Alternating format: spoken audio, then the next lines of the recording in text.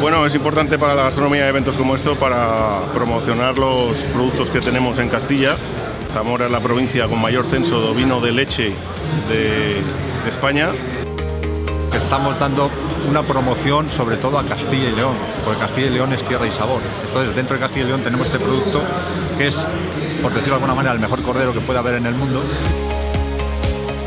Tiene alcance porque ya lo he demostrado, tiene un alcance internacional, es un alcance, ahora mismo no tiene límites.